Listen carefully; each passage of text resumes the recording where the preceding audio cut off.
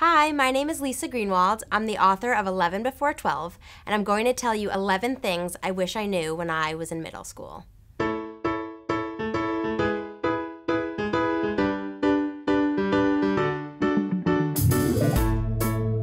No one else knows how to use their combination lock either.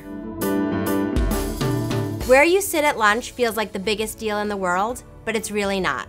Bloom where you're planted.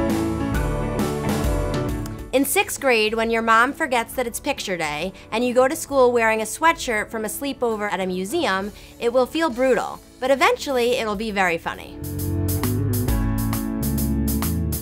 It'll seem like having the fanciest jeans will save your life. They won't, but having fancy jeans never hurt anyone either.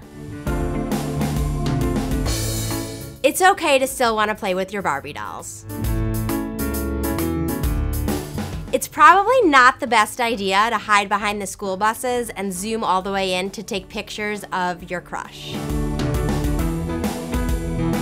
Classical music doesn't sound very good on a keyboard. So when they tell you they can't move the piano onto the stage for the variety show, it might be best to pick another act.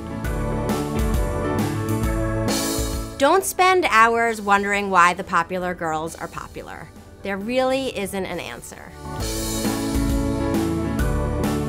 Overalls will go in and out of style forever, but the ones with the rhinestones will only be cute for so long. But go ahead and wear them anyway. One day you'll be able to talk to adults without feeling like the most awkward person in the world.